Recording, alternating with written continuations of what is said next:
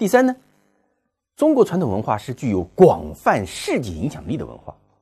中国传统文化从纵的下面看呢，我们说历史悠久；从横向看呢，我们说影响广泛。亚洲更远的欧洲，都曾经受到中国传统文化的影响。中国传统文化的世界影响力，首先表现在对亚洲国家文化发展的导源作用上。朝鲜是最早接受我们中国文化的亚洲国家之一。那么，其实早在秦汉以前呢？我们国内的古文献中间就有了中朝文化交流的记载。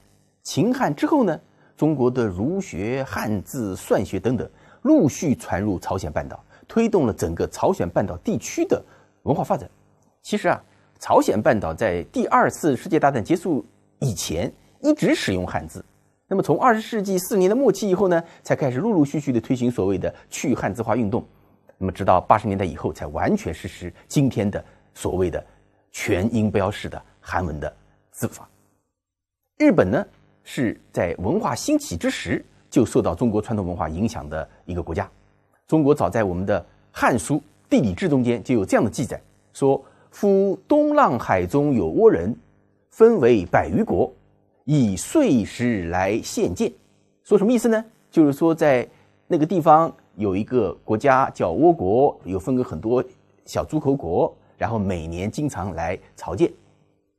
东汉以后，尤其是隋唐时期，中国的政体、政治、军事、文字、历史、宗教、哲学等等，传入日本，直接推动了日本社会文化的长足进步。除了我们刚才讲的朝鲜半岛、日本之外，像东南亚的越南呐、泰国啊、新加坡啊等等，也都在不同程度上受到中国传统文化的影响，成为汉文化圈的。重要构成，中国传统文化的辐射力啊，最远就达到了中亚，乃至是欧洲，对整个世界文明历史的发展都发挥了重要的推动作用。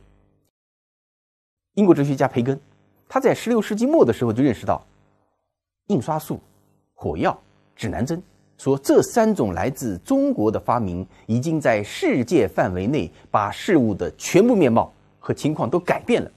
第一种是在学术方面，第二种是在战事方面，第三种是在航行方面，并由此又引起难以速记的变化来。到了十九世纪的六十年代，马克思更是认为，这些来自中国的发明推动了西方资本主义现代化的降临。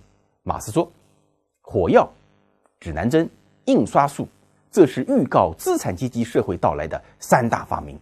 火药把骑士阶层炸得粉碎。”指南针打开了世界市场，并建立了殖民地，而印刷术则变成新教的工具。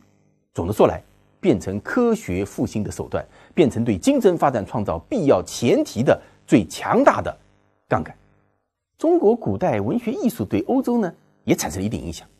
我们知道，欧洲曾经大量进口中国的丝绸和瓷器，而在丝绸和瓷器上面呢，都有精美的美术绘画作品，所以中国的美术。艺术这些形式啊，也就随之传到了欧洲，为西方艺术增加了一抹我们中国的神韵。那么在文学方面呢，中国的小说、诗歌、戏剧等等，也都获得了外国学者的高度评价。比如说四大名著小说啊，这都被翻译成了多种文字来传播。《赵氏孤儿》这